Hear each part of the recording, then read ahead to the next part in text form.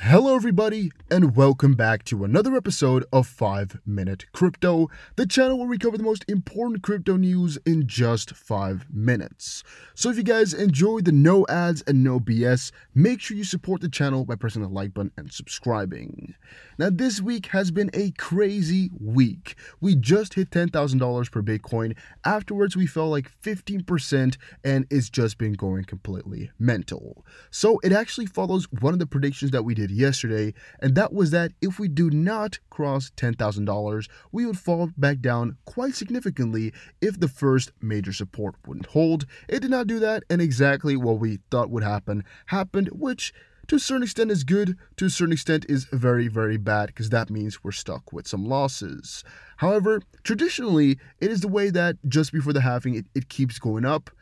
This time, though, yeah, it didn't really happen that much. I mean, we're really one day away from the halving, and prices are not looking to be going up anytime soon. However, we've been surprised a lot this week, and I would not be too too bamboozled if it were to happen again.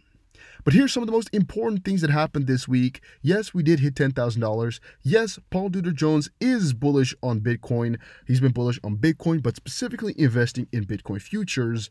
Libra gets a CEO.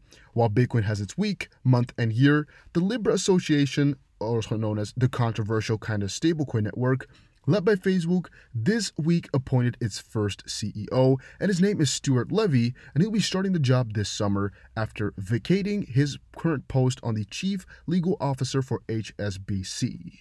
He used to be under the Secretary of the Treasury for Terrorism and Financial Intelligence. He held the position in both the Bush and Obama administrations. So that's pretty damn crazy.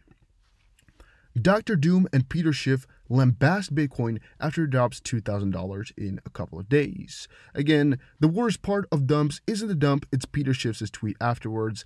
And Peter Schiff, I just think he is really kind of known for his notorious famous Bitcoin quotes. He does very bullish things, he does very bearish things, and I'm personally more so thinking now of just kind of ignoring him because we saw earlier um, he's actually bullish on gold and bearish on Bitcoin. That's always his stance.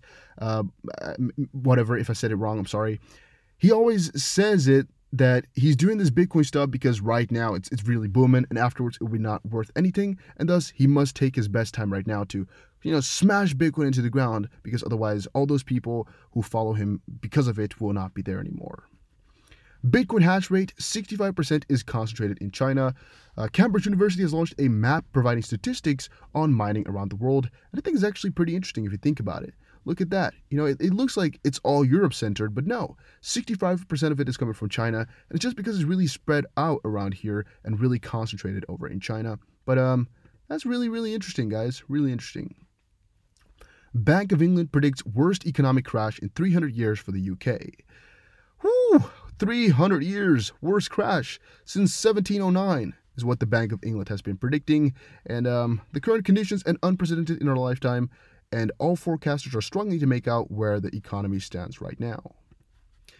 Again, three reasons for the Bitcoin price halving dump from 10 to 8.1. Well, one of it is that FOMO hasn't been working out too well. I mean, that that's kind of what it's been looking like if you guys uh, have also seen it. it's kind of been uh, kind of been looking like it, if I do say so myself. It's one of the things I've been seeing. Second of all is that people are buying the news or buying the rumor and selling the news. And the third of all is most likely that there's a lot of manipulation going on. In their words, the three things are, um, let's see here, whales quickly move to sell Bitcoin at the point of rejection, massive volatility ahead of halving, and well, I guess that's basically it. Tron now ranks second after Ethereum in the issuance of Tether. The Tron network now hosts the second largest amount of Tether after the Ethereum network. Not significant, not important, but cool to know. And XRP dipping below 20 cents proves it's yet to decouple from Bitcoin, which is definitely quite true, guys. XRP is really, really connected to Bitcoin still, and I guess most coins are. None of them are really not connected. Um, and I guess that rumor is also kind of out of the air right now. Maybe it won't be in the future, but for right now, it's definitely not there yet. Hopefully you all enjoyed it. If you did, make sure you press the like button and subscribe. See you guys again in another quickly, quickly five minute crypto video.